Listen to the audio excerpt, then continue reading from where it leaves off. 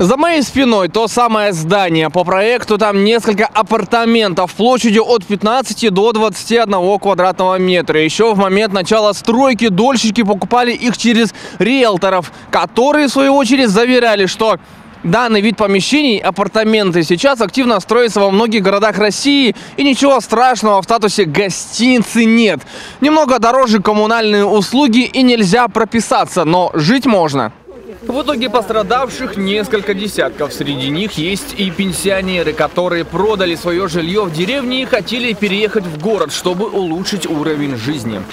Все хорошо, будем строить, строить. Остекление вовсю уже шло, дом построенный был, шло остекление. Я пришла, мне устраивает, как бабушки, именно отдельная студия, не в общежитии где-то там. Долевки в доме у застройщика «Сентябрь» люди приобрели еще в 2015 году. Заманчива была и цена от 600 тысяч до полутора миллионов рублей. Правда, люди осознавали, что определенный риск есть.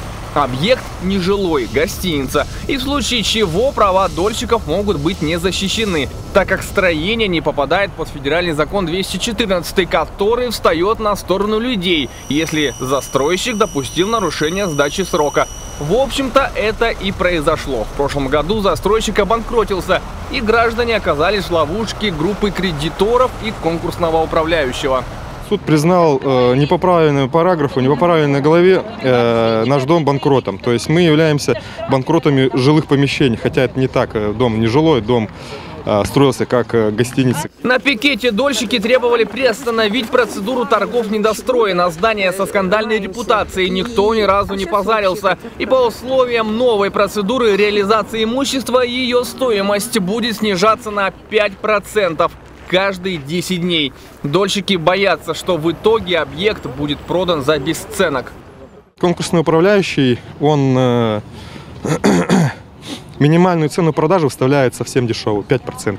5 миллионов, условно, можно сказать, продать дом за 5 миллионов. Но это что? Дом целый, огромный, огромные площади. За 5 миллионов мы получим там, может, по 500 рублей, если нам компенсацию потом будет уплачивать. Обманутые дольщики считают, что выход из ситуации есть, если арбитражный управляющий увидит основания для восстановления платежеспособности банкрота.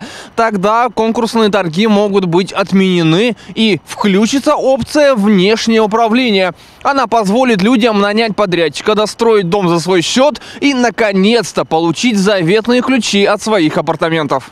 Дольщики обратились за помощью губернатору края и региональную прокуратуру. Они просят проверить законность проведения торгов и объявления застройщика банкротом. Мы, в свою очередь, также направили официальные запросы в ряд структур и будем следить за развитием ситуации. Дмитрий Дроздов, Дмитрий Денисов. День с толком.